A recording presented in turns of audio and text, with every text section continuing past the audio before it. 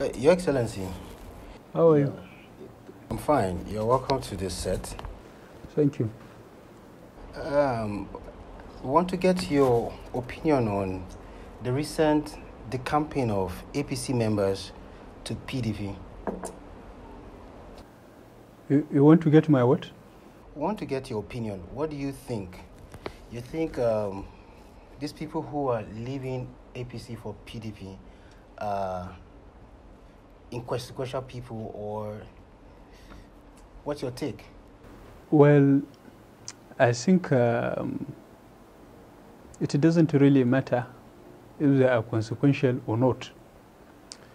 But the most uh, important question to ask is why are they living?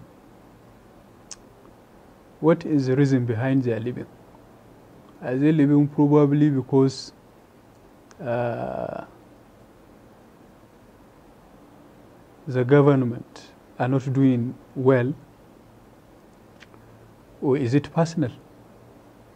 Uh, recently, um, one of the uh, reasons for leaving, according to um, the group PC, RAPC, it said something about um, lack of internal politics in the party and marginalization.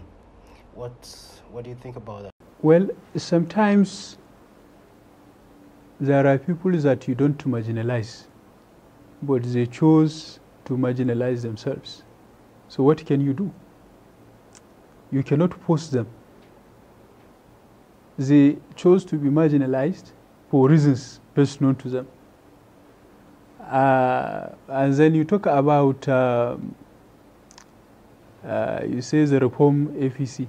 I think those people need internal reform before they should reform any APC. They need to be reformed first of all. Because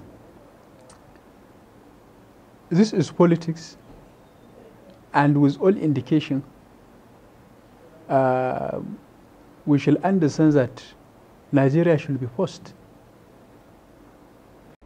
Your Excellency, um, these people said they, they've not been carried along in events happening in the What did they carry along? They carried nobody. So if you think you do not, we, we do not carry them along the party, do not carry them along, do they carry us along? Why is this alarm, this reform? Why has it not taken place all this while? For the past three years. Why now? I think uh, they are insulting the intelligence of Nigerians to even start thinking about uh, leaving the party now because uh, 2019 election is by the corner and they know what their hidden agenda, what it is. Their living is not for the interest of Nigeria, it's their personal interest. Probably there is a position where you were thinking that you are going to get and you were not given. And so uh, to express your displeasure is to leave the party. So, like it or not, we know.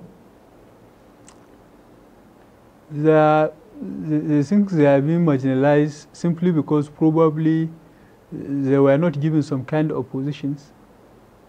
See, Baba. Your Excellency, recently, these guys they sought for an audience with you to air their grievances. Even though the vice president granted them audience, they felt it was better to hear from you. But presidency did not grant them the opportunity. Are you aware of all of this? To air which view? There are reasons for saying they've been marginalized and so many other things. Well, I'm not aware. Nobody is out to have an uh, audience with me and I denied it. I'm, I'm into politics, and so why should I deny audience, especially when it has to do with political uh, grounds? I think the right person to meet is the chairman of the party. I have no problem with that. I can only advise. I can't take decisions as long as the party is concerned. The party which uh, is also uh, being run by constitution. So following the constitution, I think they should contact uh, the, chairman of the party. Yes, Thank you very much for your time, Your Excellency. you are most welcome.